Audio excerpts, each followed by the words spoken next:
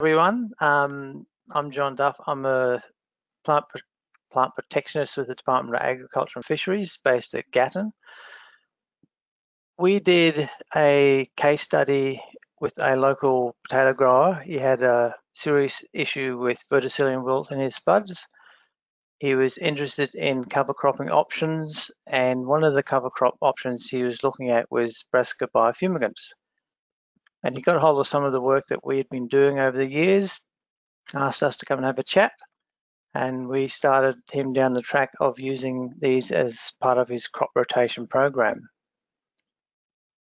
So just uh, some information on verticillium wilt or verticillium dahliae. Um, it does reduce your tuber size, which then subsequently gives you a yield loss.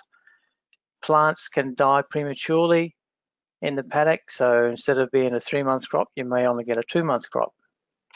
It then impacts future potato production. This pathogen can survive in the soil for at least five years. So every time you put another crop in, you're going to get the disease actually affecting that subsequent crop. This grower did try numerous crop rotations, uh, sorghum, corn, and they didn't even seem to affect the severity of the disease. It just kept getting worse and worse. So we looked at, there's a PreDicta Pt test, which the South Australian Department of Research, uh, Research Institute, SARDI, have been doing for a number of years in a number of different crops. They have a whole range of pathogens that they test for. And this tests for the DNA present in the soil.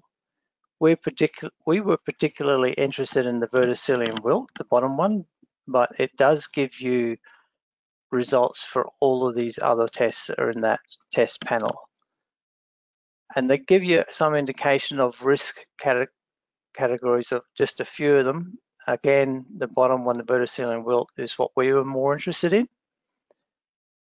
Now, with regards to the number of samples that we needed to take, each block that we sampled was run about five hectares in size. So we really only needed to take two to three samples, but because we wanted to look at the overall distribution within each block, we looked at anything up to 10 samples in that five hectare area. A little bit of an overkill, um, I must admit, but it gave us a really good picture of how evenly or otherwise actual diseases were in that block.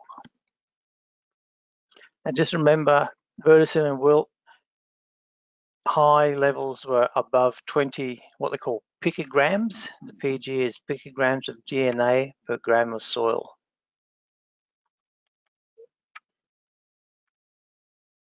Oops, going too fast. Oh, next one. So we looked at the samples we sent, as you can see, the levels of DNA of the various pathogens in the soil were well and truly in the red verticillium wilt, you have huge numbers like this paddock here, well into the thousands of picograms per gram of soil. So it's no wonder he was actually having issues uh, growing potatoes in these blocks. The only areas in this block seven numbers were relatively low, but they were still in the moderate range. So I'm just going to cover three of the pathogens. So verticillium wilt, which is the main one we're interested in, also the black dot and uh, root knot nematodes. So helping this grower choose which biofumigants to, to grow, the work that we had been doing on the research station showed that BQ mulch and Caliente were two good candidates for this grower. They're readily available at the time. Unfortunately, BQ Mulch has been withdrawn. The seed company that sold it doesn't sell it anymore, and we can't seem to source, get a new source of that particular mix. It was a very good one. It flowered very quickly, uh, within 35 to 50 days, he could get it ploughed into the ground. We looked at, or we encouraged him to look at planting it over the hotter months of the year. The research that we shown um, uh, that we did showed that the plants get stressed with heat and they produce more glucosinolates, which then in turn have a better result on controlling soil-borne pathogens. Not all varieties do that, but especially the BQ Mulcher is one which did that relatively well. Summer is really not the best time to be growing these. It doesn't produce as much biomass if compared to a winter planting, but the amount of glucosinolates or the chemical that they produce tended to outweigh that lack of biomass that you get. We also wanted to look at this as part of another project to help reduce soil loss and nutrient runoff from the blocks by showing that you could plant these crops during summer, uh, during our high rainy periods. Unfortunately, I guess if you'd planted them this summer, they might have actually been washed away with all the flooding that we have actually had. Um, but we did want to look at it from both a soil health point of view and also um, reducing runoff and from yeah, soil and nutrient runoff. So we did this during 2019, 2021 uh, on this growers property. And just a quick rundown on the processes involved for those that aren't familiar with uh, brassica biofumigants. Once they reach about 25% flowering, we then mulch with a flail mower. We want to get a really fine particle size.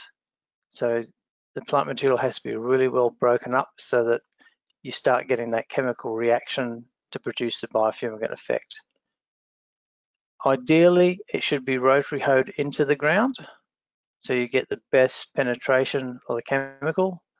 We have, on one occasion, the grower only had disc plows and we still got a relatively good result using the disc plows.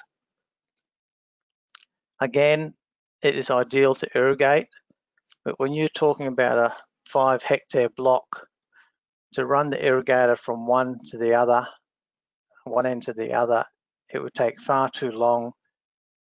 The chemical that produced in this biofumigation process volatilizes very quickly. So the other option that the grower had to them was to use a rollers behind the tractor and that helped to seal the chemical into the ground for longer um, than if he hadn't done it at all. So that's basically the process involved with when using biofumigants or the brassica biofumigants anyway. Oops.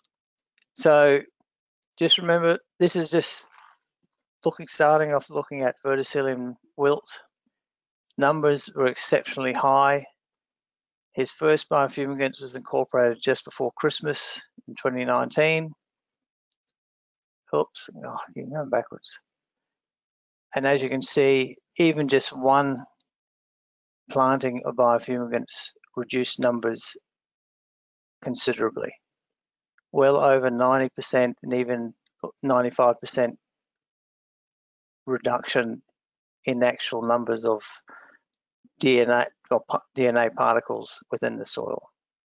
So huge effect. The grower was ecstatic. He had wanted to look at two plantings close together of the brassica biofumigants. So he still went ahead and did that. These were incorporated May the same year, uh, 2020. And the results, he did get slightly different results, not as you wouldn't say hugely beneficial, but it still kept numbers exceptionally low compared to what they were when we first started collecting soil samples from this block, these blocks. So the grower felt that this was a huge success um, and was happy to start planting potatoes back into these blocks. uh, where are we? So black dot was the other disease, which was exceptionally high numbers, well over 40 picograms per gram of soil was well and truly into the red. It's the same process. Um, numbers were half, if not more, in some cases, but they're still in the red. So there's still a lot of work to be done. After a second incorporation or second planting of biofumigants, again, a slight improvement in numbers. If he keeps using these biofumigants as part of his crop rotation, it is likely that these numbers will continue to fall, but he needs to keep going with it. Biofumigants aren't just do it once, get a good result and leave it. You really need to keep at it. It needs to be part of your crop rotation program.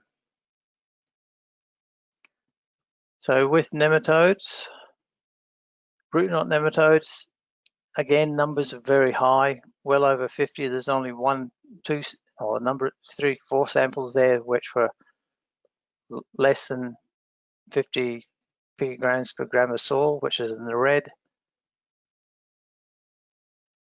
He had a huge reduction in the efficacy in, or in the management of these um, nematodes after just one planting of biofumigants and that even after two, almost none present in there. Now, I know some of you will think, well, brassicas are hosts of nematodes, and that's quite true. A lot of the work that we have done over the years has shown that basically all your brassica biofumigants are hosts of root knot nematodes and other nematodes, contrary to what the literature says. But when you incorporate the above ground plant material, which is exceptionally high in your glucosinolates, what effect does this then have on the nematode population? And this really clearly shows that it has a huge effect on it. So the roots may be harboring the nematodes, but when you incorporate the tops, you're getting a huge benefit at managing your nematodes.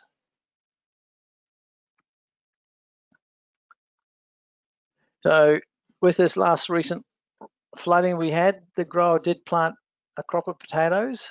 Um, so I suggested he go down to the harbour and see whether he can salvage some.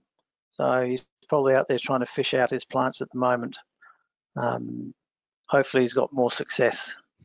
Um, and I'd just like to thank uh, researchers that helped me and the grower, Greg Hauser. Um, this is part of a Department of Environmental and Science funded project with um, our own Department of Agriculture and Fisheries. All right, that's Fantastic. me done. Thanks, thanks, John.